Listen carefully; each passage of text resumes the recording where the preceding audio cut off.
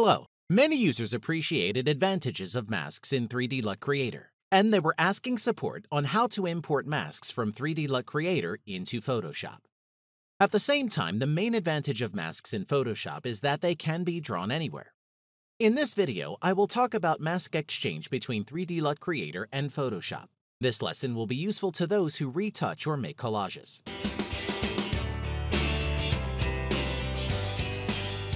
I have a picture with a plane and there is an image where I want to insert this plane. I have already cut out the plane beforehand to save time. Now I'm going to copy it and paste it on another image. This collage looks unnatural because the plane is almost neutral, but my photo has a tint. If I switch to 3D LUT Creator and click Image from PS button, the composed image will load and I will not be able to match the color of the plane to the color of the background because the whole photo is going to change. I need to see how the plane will be combined with the background, but I only need to affect the plane. What to do in such a case? I go to Photoshop and click on the plane layer, with Control key pressed down to select the plane.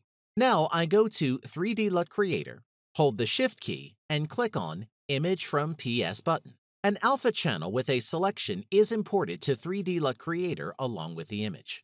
To see it, you just need to press Ctrl plus 6 or Command plus 6 on Mac. This is how the alpha channel looks. I turn on the composite image again by pressing Ctrl plus 2. Now I can only work with the plane and match its color to tint of the background. How can this be done quickly? I go to Photoshop again, turn off the plane layer, then I go to 3D LUT Creator, and with the Control key pressed down, I load the background as a reference image. Done. Now I need to extract curves from the reference and apply them to my image. I select an appropriate method for extracting curves and click on Grade button. What remains is only to smooth the resulting curves and adjust the contrast on your master curve.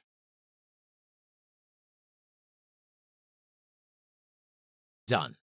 Let me remind you that the selection in Photoshop remains on. This is important. I'll turn on the plane layer and send my LUT to Photoshop. The selection was transferred to the Mask of LUT layer. In order not to be tied to the selection, I click on the mask with Shift key to turn it off. And now I click between the LUT layer and the image with the Alt key. Now LUT will only affect the underlying layer, and the plane can fly anywhere. Now you know how easy it can be to match your collages in color. Let's consider an example. When the mask created in 3D LUT Creator needs to be transferred to Photoshop. I have a mountain landscape where the dirt on the sensor and digital noise are clearly visible in the sky. I'm going to fix it. I load an image from Photoshop, go to Mask tab and select HSP Mask.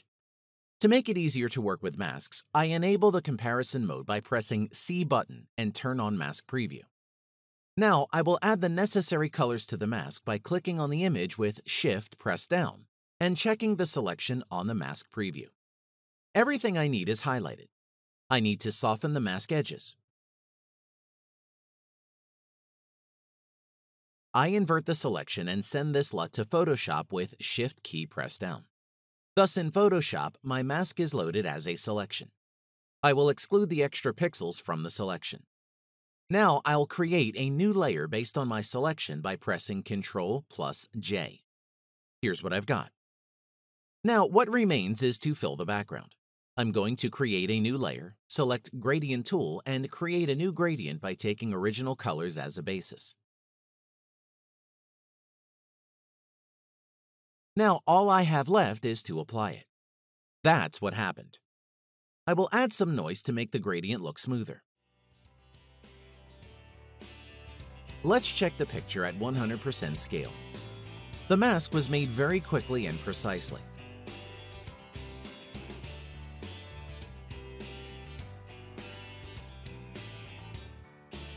This is before and after. That's all.